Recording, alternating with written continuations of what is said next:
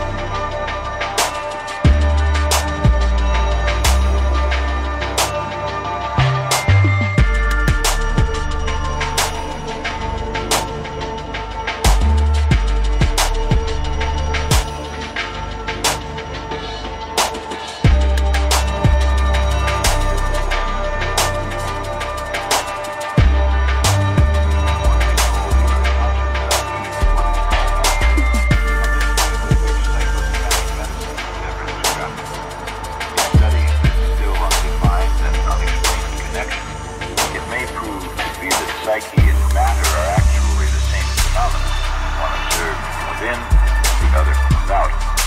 Dr. Jung put forward a new concept that he called synchronicity. This term means a meaningful coincidence of outer and inner events that are not themselves causally connected. The emphasis lies on the word meaningful. meaningful.